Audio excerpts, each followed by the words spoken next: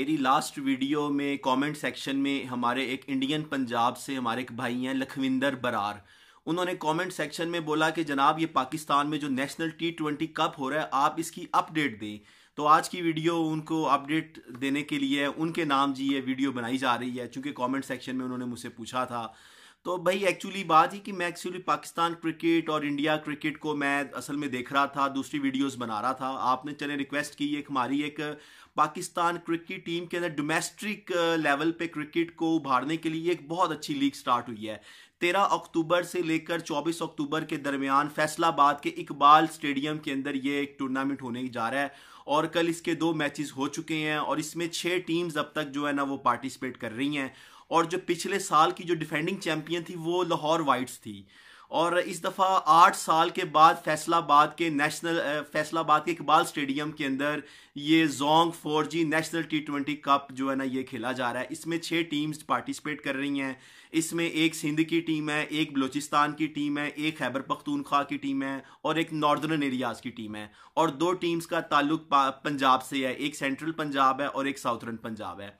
अब इस total tournament में जो है ना 96 प्लेयर्स जो है ना 96 क्रिकेटर्स इसमें पार्टिसिपेट कर रहे हैं। और 24 अक्टूबर को इसका फाइनल खेला जाएगा। और इसमें अब तक ये है कि जो टीम जो जो विन करेगी, उसको 50 लाख रुपए का इनाम दिया जाएगा और जो रनर्स अप टीम होगी, उसको 25 लाख रुपए मिलेगा।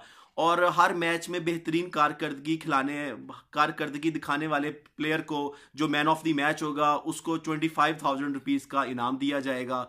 और फाइनल का जो मैन ऑफ़ द मैच होगा, उसको थर्टी फाइव थाउज़ेंड रुपीज़ दिया जाएगा। फिर इसके अलावा जो है, जो मतलब के जो आप कह लो कि जो बेस्ट बेस्ट बॉलर है बेस्ट बैट्समैन है और बेस्ट आप कह रहे कि ऑलराउंडर है, ठीक है, उसको एक एक लाख रुपए का इनाम दिया जाएगा इस टूर्नामेंट के एंड पे। और सबसे बड़ी बात है कि इस टूर्नामेंट का फ़ायदा ये होगा कि जो 996 प्लेयर्स में से जो अच्छे प्लेयर्स अपनी अच्छी कारकर्दगी दिखाएँगे, उनको आइंदा आने वाले जो वर्ल्ड कप जो मतलब जो अगले साल हो रहा है 2020 का, उसमें भी उनको जो है ना वो मौका दिया जाएगा मतलब अपनी परफॉर्मेंस दिखाने का, उनको उसमें सेलेक्ट किया जाएगा। और इसके अलावा भी पाकिस्तान और ऑस्ट्रेलिया की जो भी सीरीज़ होने जा रही है 2020 की, हो सकता है कि उसको उस स्क्वाड में भी शामिल किया जाए, क्योंकि अभी तक स्क्वाड फाइनलाइज नहीं हो सका। अभी मशावरत चल रही है कि कैप्टन कौन सा होना है। तो बहरहाल कल दो मैचेस हो चुके हैं और एक मैच पाकिस्तानी टाइम के मुताबिक 1:30 पे एक मैच स्टार्ट होता है और ये मैच पीटीवी स्पोर्ट्स और आप टेन स्पोर्ट्स में भी देख सकते हैं और दूसरा मैच पाकिस्तानी टाइम के मुताबिक साढ़े पाँच बजे स्टार्ट होता है। तो दो मैचेस डेली बेसिस पे खेले जा रहे हैं।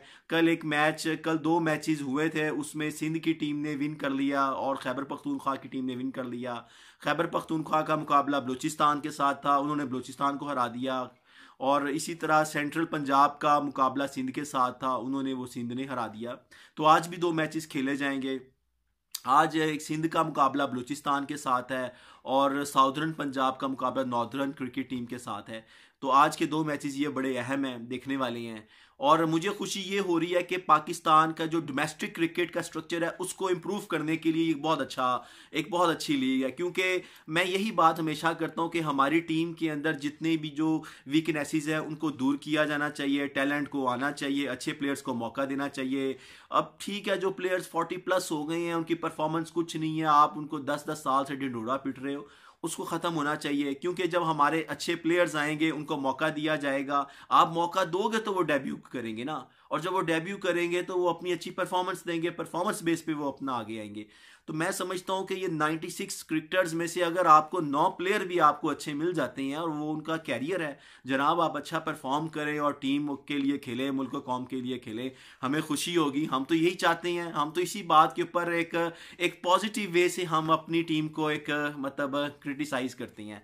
और जब हमारी टीम अच्छा परफॉर्म करती है तो दिल से खुशी होती है, कहते हैं कि पाकिस्तान जिंदाबाद। तो हमें तो मतलब एक खुशी है कि मतलब आठ साल के बाद जो फैसला फैसलाबाद जो मेज़बानी कर रहा है होस्ट कर रहा है, इस टूर्नामेंट में एक अच्छे क्रिकेटर्स हमें देखने को मिले, ताकि हम हर, हमारी टीम जिस टीम के साथ भी खेलें और एक अच्छी परफॉर्मेंस देखने को मिले। अच्छे बॉलर्स आएँगे, अच्छे आपके पास ऑलराउंडर्स आएँगे, अच्छे बैट्समैन आएँगे, कप्तानी का मसला नहीं होगा टीम अच्छा परफॉर्म करेगी। तो ये एक मुख्तसर सी एक ब्रीफ मैंने एक इन्फॉर्मेशन आपको दी, और आपने मुझे ये बताना है कि ये जो छः टीम्स हैं, इसमें आपको लग रहा है कि कौन सी टीम है जो इस टूर्नामेंट को विन करेगी? क्योंकि छः टीम्स में आपको पता ही है कि एक सिंध है, एक आपके पास बलूचिस्तान है, एक खैबर पख्तूनख्वा है और पंजाब की दो टीमें हैं एक सेंट्रल पंजाब है, ठीक है, एक साउदर्न पंजाब है और एक नॉर्दर्न एरियाज़ की एक टीम है जिसको नॉर्दर्न क्रिकेट टीम कहते हैं। तो आपने कमेंट सेक्शन में बताना है कि आपके ख्याल में कौन सी टीम है, वो विन करेगी।